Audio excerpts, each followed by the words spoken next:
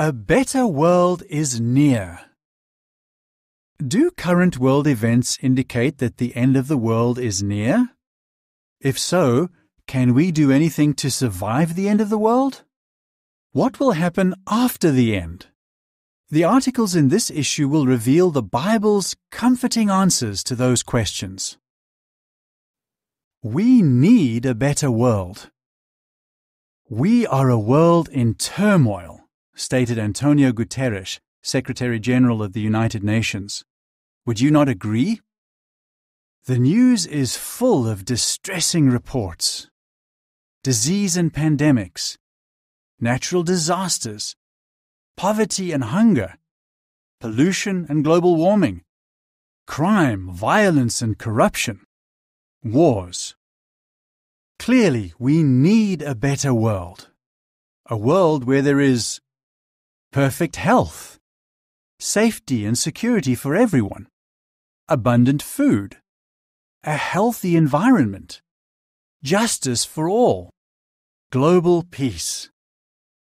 What, though, do we mean when we speak of a better world? What will happen to the world we live in now? What can we do to live in a better world? Is this world going to end? Perhaps you are aware that the Bible speaks of the end of the world. Is it referring to the end of the human race?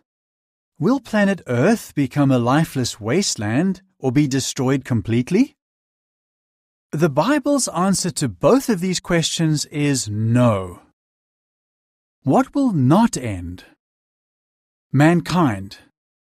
What the Bible says. God did not create the earth simply for nothing, but formed it to be inhabited. Isaiah 45:18. Planet Earth. What the Bible says. A generation is going and a generation is coming, but the earth remains forever. Ecclesiastes 1:4. What it means. According to the Bible, the earth will never be destroyed and it will always be inhabited. So, what is meant by the end of the world? Consider. The Bible compares the coming end of this world to what happened in the days of Noah. At that time, the earth was full of violence. Genesis 6:13. However, Noah was righteous. So God preserved Noah and his family, but he destroyed the wicked people by means of a flood. Referring to what happened back then, the Bible says, The world of that time suffered destruction when it was flooded with water. 2 Peter 3 6. That was the end of a world. Yet what was destroyed? Not the earth, but the wicked people on the earth. Thus, when the Bible speaks of the end of the world, it is not referring to the destruction of the planet, Instead, it is referring to the end of wicked people on the earth and to the system of things they have put together. What will end? Problems and wickedness. What the Bible says. Just a little while longer, and the wicked will be no more. You will look at where they were, and they will not be there. But the meek will possess the earth and they will find exquisite delight in the abundance of peace. Psalm 37, 10 and 11. What it means. The flood of Noah's day did not wipe out wickedness once and for all. After the flood, wicked people once again made life miserable for everyone. Soon, though, God will bring an end to wickedness. As the psalmist said, the wicked will be no more. God will put an end to wickedness by means of his kingdom, a world government that rules from heaven over a righteous human society. Consider Will those presently ruling the earth welcome rule by God's kingdom? The Bible indicates that they will not. Foolishly, they will oppose God's kingdom. What will be the result? God's kingdom will replace all human governments and it alone will stand forever. Daniel 2:44. But why does human rulership need to end? Wanted an end to human rulership. What the Bible says. It does not belong to man who is walking even to direct his step. Jeremiah 10:23. What it means. Humans were not created to rule themselves. They do a poor job of governing other people and solving their problems. Consider Britannica Academic notes that individual governments seem unable to handle the universal enemies of poverty, hunger, disease, natural disaster, and war or other violence. It then continues Some believe that only a form of world government can make decisive headway against those evils. However, even if all human governments united, the world would still be ruled by imperfect humans who are unable to overcome the difficulties mentioned above. God's kingdom is the only government that has the power to solve all global problems permanently. Therefore, according to the Bible, the end of the world, the present wicked system of things, is not something that good people should fear. Instead, it is something to look forward to because this ruined old world will be replaced by God's magnificent new world. When will this all happen? When will the end come? What Jesus said. As we learned in the preceding article, when the Bible speaks about the end of the world, it does not mean the end of the earth or mankind. Rather, it means the end of the present corrupt system of things and all those who support it. But does the Bible say when the end of this wicked system of things will take place? Consider two statements Jesus made about the end. Keep on the watch, therefore, because you know neither the day nor the hour. Matthew 25:13. Keep looking, keep awake, for you do not know when the appointed time is. Mark 13:33.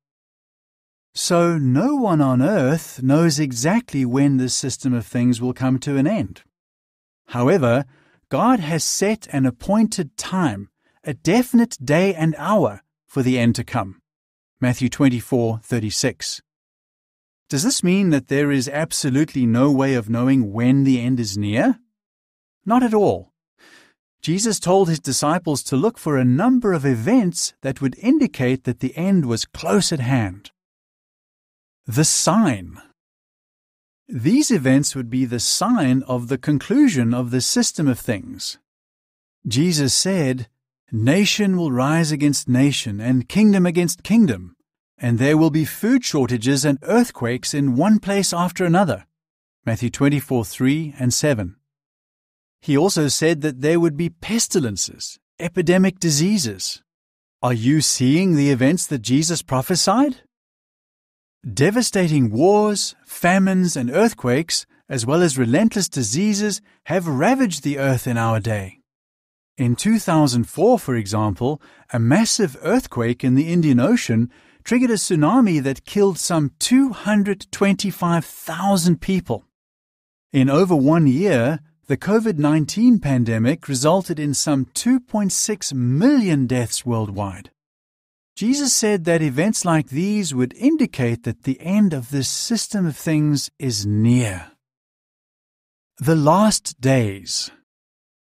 The Bible describes the time period just before the end as the last days.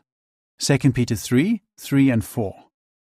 2 Timothy 3 1 to 5 states that the last days would be marked by a steep moral decline.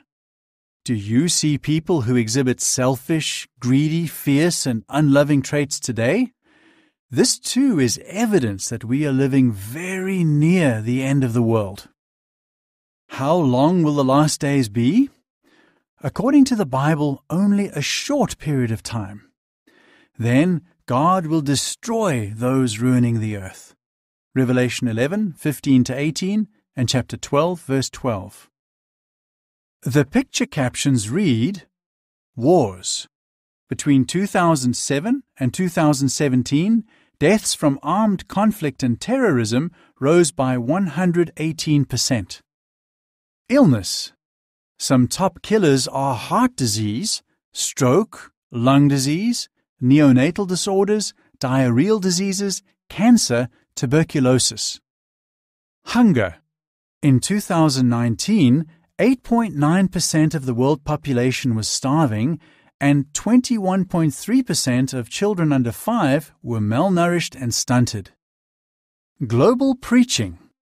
Over 8.4 million qualified preachers, Jehovah's Witnesses, distribute Bible literature in over 1,000 languages in 240 lands. Jesus' prophecy about the last days gives us reason for hope. The paradise earth is near. God has already set the day and hour when He will bring an end to this present wicked system of things. Yet there is more good news. God does not desire anyone to be destroyed. 2 Peter 3 9. He is giving mankind the opportunity to conform to His standards. Why? Because He wants us to survive the end of this world and live in His new world when the earth will be a paradise. God has organized a global teaching program to help people learn how to become part of the new world under His kingdom. Jesus said that the good news about God's kingdom would be preached in all the inhabited earth. Matthew 24:14. Worldwide, Jehovah's Witnesses spent over 2 billion hours in 2019 preaching and teaching people the Bible's message of hope. Jesus said that this preaching campaign would be done throughout the earth before the end would come. The time for human rule is almost over. But the good news is that you can survive the end of the world and be part of the paradise earth that God has promised. The following article will discuss how you can live in that new world. The following is supplementary information just before the end of the world. In the last days, critical times hard to deal with will be here. For men will be lovers of themselves, lovers of money, boastful, haughty, blasphemers, disobedient to parents, unthankful, disloyal, having no natural affection, not open to any agreement, slanderers, without self control, fierce, without love of goodness, betrayers, headstrong, puffed up with pride, lovers of pleasures rather than lovers of God, having an appearance of godliness, but proving false to its power. 2 Timothy 3 1 to 5. How you can live in a new world.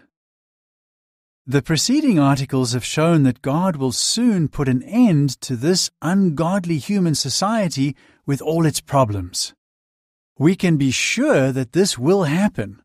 Why? Because God's Word, the Bible, has promised.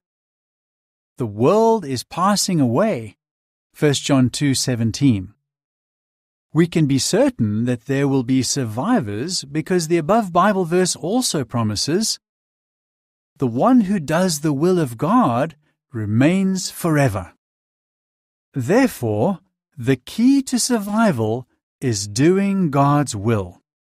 To find out what God's will is, we must first come to know Him. Survive the end by coming to know God. Jesus said, This means everlasting life. They're coming to know you, the only true God. John 17:3. To survive the end and live forever, we need to come to know God. That means much more than merely acknowledging that God exists or knowing a few facts about Him. We need to be friends with Him. As with any friendship that we want to flourish, we need to devote time to it. Maintaining a friendship with God is no different. Consider some vital truths we learn from the Bible that help us to develop and maintain a friendship with God. Truths we learn from the Bible we learn that God intended for us to live in paradise. He created the first humans, Adam and Eve, and placed them in a beautiful location called the Garden of Eden. They were perfect, and God had provided everything they needed in order to enjoy a happy life. Their life could have been endless. As long as they remained friends with God, they would never die. But they chose to disobey a simple command God gave them. We learn why we are now suffering hardships. By disobeying God, the first man, Adam, lost the opportunity to live forever, both for himself and for the rest of mankind. The Bible explains Through one man, sin entered into the world, and death through sin, and so death spread to all men. Romans 5:12. Just as a person might inherit a defect from his parents, all of Adam's children inherited imperfection from him. As a result, we grow old and die. We learn what God has already done to help us. The Bible says, God loved the world so much that he gave his only begotten Son, so that everyone exercising faith in him might not be destroyed, but have everlasting life. John 3:16. God sent Jesus to the earth to give his life in our behalf. Regarding that act of love, an 86-year-old Indian man named Prabhakar says, "It shows Jehovah's intense love for me. His love has given me the hope of everlasting life." The footnote reads, Jehovah is the name of God as revealed in the Bible. End of footnote. We learn how we can show appreciation for what God has done for us. The Bible says that we can show our appreciation for what God has done for us by observing His commandments. 1 John 2 3. Jehovah God lovingly shows us what we can do to enjoy life now.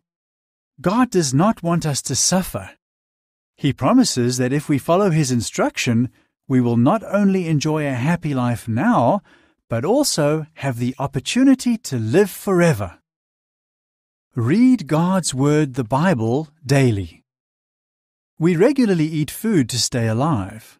But Jesus said, Man must live not on bread alone, but on every word that comes from Jehovah's mouth.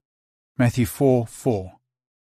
Today we find Jehovah's words in the pages of the Bible. As you study that sacred book, you will learn vital truths about mankind's past, present, and future relationship with God. Pray to God for help.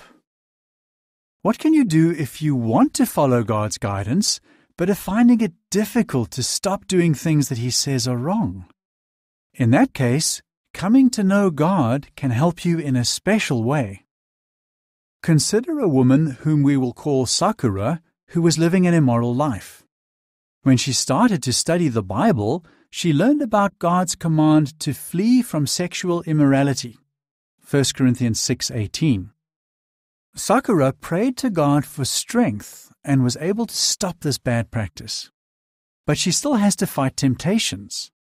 If immoral thoughts come to mind, she says, I talk honestly to Jehovah in prayer, knowing that I cannot fight this by myself. The power of prayer has drawn me closer to Jehovah. Like Sakura, millions are coming to know God. He is giving them the strength they need to make changes in their lives and live in a way that pleases Him. The better you come to know God, the more you will come to be known by God as a precious friend. Galatians 4 9. Then you will qualify for survival into God's new world. But what will that new world be like? The paradise new world that is near. God created the earth so that righteous humans could live on it forever. He put the first human couple, Adam and Eve, in the beautiful Garden of Eden and he gave them and their descendants the responsibility to cultivate the earth and to take care of it. Today's world is far from the paradise God meant it to be. However, God has not changed his mind. How will he fulfill his original purpose? As the preceding articles have shown, God will not destroy the earth itself. Rather, he will allow faithful humans to live on it.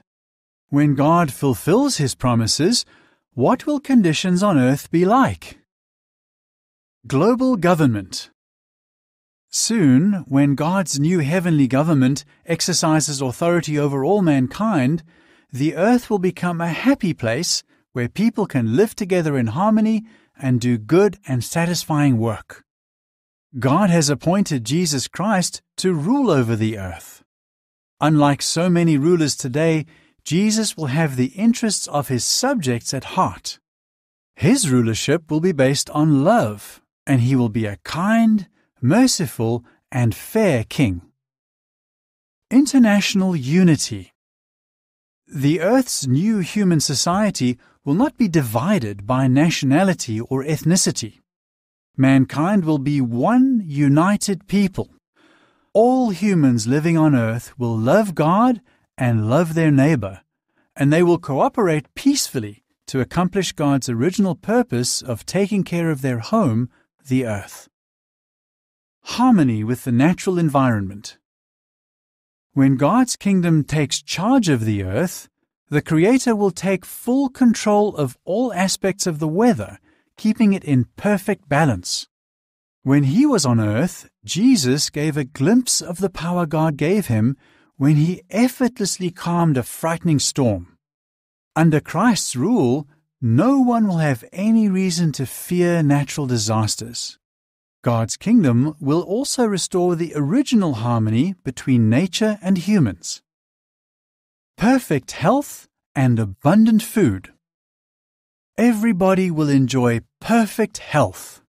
No one will become ill, grow old, or die. People will enjoy a beautiful and clean environment like the one the first human couple enjoyed in the Garden of Eden. In the New World, just as in Eden, the ground will produce food in abundance, and all inhabitants of the earth will have plenty. Like God's ancient nation of Israel, everyone in the paradise will eat their bread to satisfaction. Leviticus 26, 4 and 5. Real peace and security. Under God's global government, all people will enjoy peace and will treat one another kindly and fairly. There will be no wars, no abuse of power, and no need to struggle for basic needs. The Bible promises they will sit, each one under his vine and under his fig tree, and no one will make them afraid. Micah 4 3 and 4. Ample housing and satisfying work. Every family will have a home without fear of being displaced and all the work that we do will be rewarding. As the Bible says, those living in God's new world will not toil for nothing or in vain. Isaiah 65 21 23. The best education. The Bible promises the earth will certainly be filled with the knowledge of Jehovah. Isaiah 11 9. Members of the new human society will learn from the infinite wisdom of their Creator Jehovah and about the beautiful things He created. They will not use their knowledge to build weapons or to harm other humans. Instead, they will learn how to live in peace with one another and how to care for the earth. Unending life. God took great care to prepare the earth so that we can enjoy life to the full each day. He intends for humans to live on earth forever. To fulfill his original purpose, God will swallow up death forever. Isaiah 25 8. Death will be no more, neither will mourning, nor outcry, nor pain be any more, the Bible promises. Revelation 21 4. God will give all humans, both those whom he saves when he destroys this wicked world, and the countless dead ones he will resurrect in the coming new world the opportunity to live forever. Even now, millions worldwide are preparing for mankind's new beginning so near at hand. Although imperfect, they are already trying to be the kind of people God would want in his new world. How? By learning about Jehovah God and the one whom he sent, Jesus Christ. Find out more about how you can survive the end of this world and live in the better world soon to come.